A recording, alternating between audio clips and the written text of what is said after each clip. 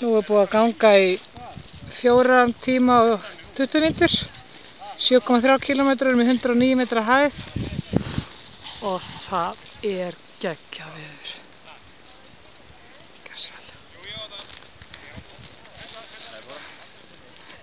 Heyrðu, úps, Róar er að pissa. Ég er að taka vídeo og Róar er að pissa. Þetta er algjörlega bíl. Blankalogn, sól.